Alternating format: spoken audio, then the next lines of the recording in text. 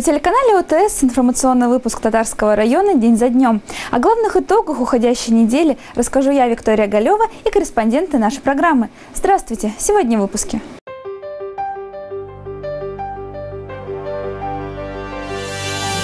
Итоги подведены. В районе завершился месячник военно-патриотического и гражданского воспитания молодежи. Мы в остальных двух видах стрельбе с пневматической винтовки и в силовой гимнастике показали достойный результат. Лучшие на лыжах и в стрельбе. Сборная района выиграла областные соревнования по зимнему полиатлону. Когда он председателем горосполкома был, э, у него мечта, он добивался всего построить в татарский э, дом. Человек-легенда 25 февраля, 95 лет, со дня рождения Николая Яковлевича Савченко. Это и многое другое далее в нашей программе.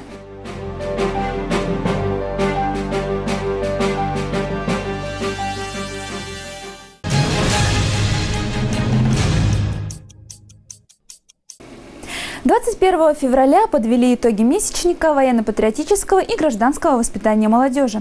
В этом году он посвящен двум знаменательным датам – 75-летию победы в Великой Отечественной войне и 95-летию Татарского района. Награждение и подведение итогов состоялось в Киевском доме культуры.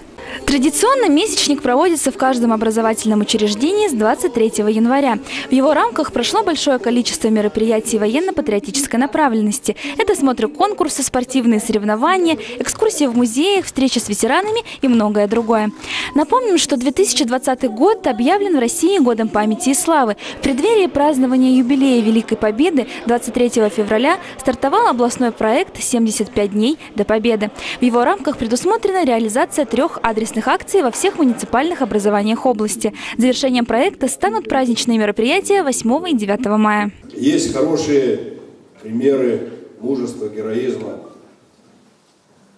наших граждан, земляков наших, во всех войнах, которые были на территории нашего государства, где наше государство участвовало, вроде как и не на нашей территории, но это тоже защита. Вот сегодня даже наши воины участвуют и где-то в Сирии, значит, э, охраняют конституционный порядок и на Кавказе, и принимают э, участие во всех учениях, которые подтверждают мощь нашей армии, нашего государства.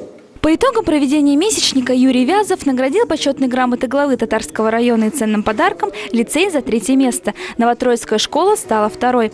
Победителем месячника была признана средняя общеобразовательная школа номер 9. За активное и успешное участие в мероприятиях были отмечены Первомайская школа имени Александра Еремина, школа номер 3 и 4, а также Первомихайловское учебное заведение. 7 мая в городе Москва будет открыт центра, главный храм Министерства обороны Российской Федерации. Также в этом храме предусмотрено открытие аллеи славы.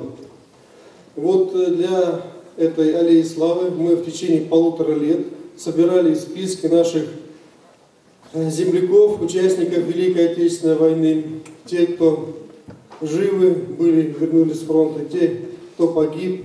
Также мы направляли туда фотографии. Поэтому я хочу поблагодарить всех, кто принимал в этом активное участие. За отличную подготовку и несение вахты памяти на посту номер один у Вечного огня благодарность объявили учащимся школы номер 10. Также в этот день в Доме культуры Родина труженикам тыла вручили юбилейные медали 75 лет победы в Великой Отечественной войне. Из рук главы района Юрия Вязова, Вячеслав Кайгородов и Андрей Чуприков получили ордена воину-интернационалисту второй степени. Юбилейной медалью 60 лет ракетным войскам стратегического назначения был награжден Андрей Трубицын а Дмитрию Гитлейну вручили награду за воинскую доблесть второй степени. Также 23 февраля на мемориальном комплексе прошла торжественная встреча, посвященная Дню защитников Отечества.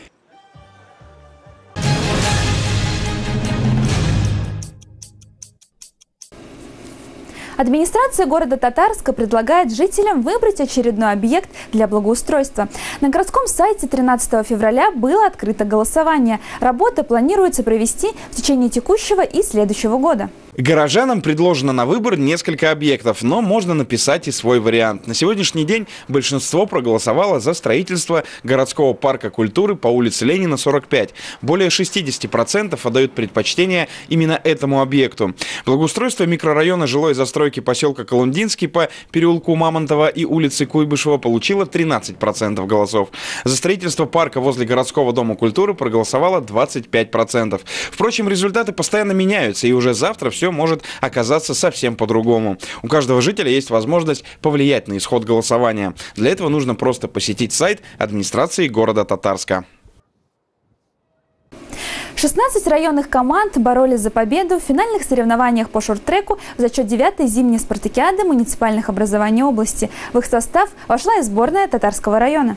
На открытии шорт-трека с приветственным словом к участникам соревнований обратился первый заместитель главы администрации района Вадим Носков.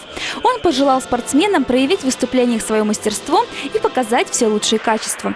В первый день шорт-трека более 50 человек вышли на лед. Во второй день прошли финальные забеги и определили победителей победителей соревнований. Уже несколько лет подряд под руководством тренера Олега Мельникова сборная нашего района является чемпионом области по этому виду спорта. И в текущем году команда показала отличные результаты, завоевав первое место. В личном зачете победителями стали Иван Гудков и Галина Драчева. Сборная Татарского района готовится к всероссийским соревнованиям по зимнему полиатлону. Выход в турнир федерального уровня татарские спортсмены обеспечили себе победы на областных соревнованиях. Из 14 сборных команда нашего района оказалась лучшей. Спортивные соревнования по полиатлону в зачет зимней спартакиады муниципальных образований Новосибирской области состоялись в Маслянино. Уже несколько лет подряд под руководством тренера Логвина Ильи Станиславовича сборная Татарского района становится неизменным чемпионом области по полиатлону. Борьба была с Маслянинским районом. Мы поборолись э, достойно лыжной гонкой сильно не проиграли, так как там ну, лыж, лыжники, гонщики посильнее, конечно, бежали, состав был. Вот, но мы в остальных двух видах стрельбе, с пневматической винтовки и в силовой гимнастике показали достойный результат. Вот. Как всегда, по, по двум видам мы ушли слишком далеко от своих соперников и тем самым обеспечили себе победу после третьего вида лыжных гонок. Не стоит путать полиатлон с биатлоном, ведь отличия есть. Полиатлон включает три вида спорта, два олимпийских и один прикладной, а именно стрельба из пневматической винтовки, силовая гимнастика и лыжная гонка. Спортсмены сборной показали отличный результат. Алена Алексеева завоевала золотую медаль, Сергей Дегтярев стал серебряным призером среди мужчин. Наталья Лиховец показала отличные результаты в силовой гимнастике, выполнив 89 отжиманий. Кирилл Севастьянок на протяжении всех соревнований шел на третьем месте, но проходя дистанцию на лыжной трассе, у Кирилла случилось непредвиденное обстоятельство. Сломал палку на первом кругу. Ну ничего, вроде потом наверстал. Больше такого ничего не было. Я поменял палку. У тренера оказалось третье чутье, что он взял палки запасные. Ну, ничего, вроде так нормально. Заменил палки, наверстал. Все, что упустил. Лыжный спорт в нашем районе с каждым годом становится все популярнее среди школьников и студентов. Может, пока не так сильно, как, к примеру, хоккей, но прогресс на лицо. Илья Логвин признается, что наши равнины не очень предназначены для полноценных тренировок, поэтому сейчас решается вопрос о конструировании искусственных возвышений на лыжной трассе. Но не только ландшафтные проблемы создают трудности нашим спортсменам. Ну, хотелось бы, чтобы у нас в городе был тир хороший, чтобы ребята могли заниматься вот, чтобы был инвентарь соответствующий, э, чтобы э, не одна винтовка была, хотя бы несколько, чтобы можно было тренировочный процесс построить уже более качественнее, побольше э, людей привлекалось к этим занятиям. Ну, вот хотелось бы детей, чтобы детская спортивная школа тоже бы стрельба бы была бы. Потому что такой вид очень интересный, особенно для таких спокойных, уравновешенных людей. Как гласит древняя, но не устаревающая истина, кто хочет, ищет возможности, кто не хочет, ищет причины. Илья Логвин и его подопечные готовы справляться со всеми трудностями, ведь без них не бывает побед.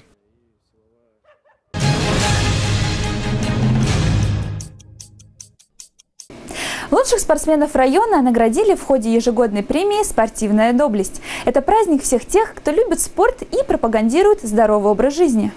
Здравствуйте, ребята! Здравствуйте! Молодцы, молодцы. Вот так же в спорте и также у всех тех добрых делах, которых вы уже, несмотря на разный возраст, достигаете каких-то результатов, результатов хороших и в спорте, и в других каких-то познавательных дисциплинах, и в культуре, и во всех делах. Это, скажем, ну, такое золотое наше будущее, да, которое сегодня мы будем честны. Глава Татарского района Юрий Маркленович Вязов объявил благодарность победителям и призерам секций баскетбол, адаптивная физкультура, шорт-трек, бокс, самбо, мини-футбол, теннис, легкая атлетика, хоккей, лыжи и их родителям за победу в областных и всероссийских соревнованиях, а также тренерам, подготовившим своих обучающихся. 25 февраля создателю одного из лучших музеев Новосибирской области Николаю Яковлевичу Савченко могло бы исполниться 95 лет. Почетный гражданин города Татарска Татарского района, почетный ветеран воздушно-десантных войск, орденоносец – все это Николай Савченко. Рожденный в Павлодарской области, Николай Савченко был призван на фронт в январе 1943 года, а в 1944 на Карельском фронте принял боевое крещение. После демобилизации приехал трудиться в Татарск. Сначала учитель физкультуры, позже партийная работа, а с 1967 Николай Яковлевич возглавляет исполком городского совета депутатов трудящихся. При его личном участии построены многие фабрики и заводы, объекты социально-культурного значения, жилые дома, благоустроены микрорайоны и улицы улице. И ему от власти ничего не надо было для себя. Понимаете? Для себя ничего. Только чтобы было все хорошо, чтобы дело спорилось, чтобы сделать что-то. Вот и все. Понимаете? Потому что ему ничего для себя не нужно было. Я вам так скажу. И это очень, это счастье. Это человек-легенда. Абсолютно. Ну, как сказать, такие люди должны быть. Должны бы быть. Это настоящий настоящий коммунист, как оно должно, как замышлялось когда-то. В 1985 году состоялось открытие татарского историка-краеведческого музея, который сегодня носит имя Николая Савченко. Сам Николай Яковлевич возглавлял хранилище истории 16 лет. Одно такое слово приходит на ум – батя. Очень часто в коллективе, как мне говорили работники – они между собой, говоря о нем, обращались к нему именно так «батя». То есть что, по моему разумению, вбирает в себя, впитывает в себя это слово «батя», это вот такое отеческое отношение к тем людям, которые рядом. И вот мне кажется, таким батей, таким батькой он был для жителей города Татарска, когда работал на должности председателя горосполкома, вот. Таким батей он оставался, когда руководил музеем, который он сам создал.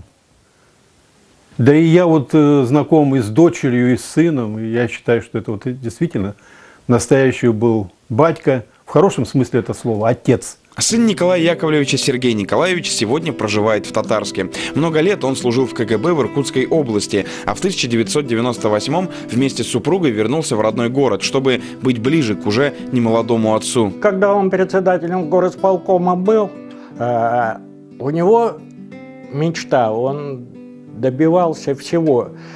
Построить в татарский э, дом на 100 квартир, чтобы туда поселить целую деревню. Он же это добился. Э, у нас напротив Швеки где-то 100-квартирный дом построили. А когда начал заниматься э, музеем, это сам, он э, добивался, мне он нравился, вот он цель пока, поставил. Он пока в генштаб звонил насчет Катюш, и, и этот, там замначальника генштаба, мол, почему вы мне звоните, э, мол, с какой-то там деревни, ну, а почему я это самое, не могу вам позвонить? Я фронтовик, я то-то, то-то, то-то, то. Ну, добивался. Именно таким Николай Савченко и остался в воспоминаниях тех, кто его знал. Решительный, целеустремленный и всегда твердо стоящий на своем. В марте смотрите в нашем эфире первый фильм из документального цикла «В объективе эпохи». Фильм об удивительном человеке Николае Яковлевиче Савченко.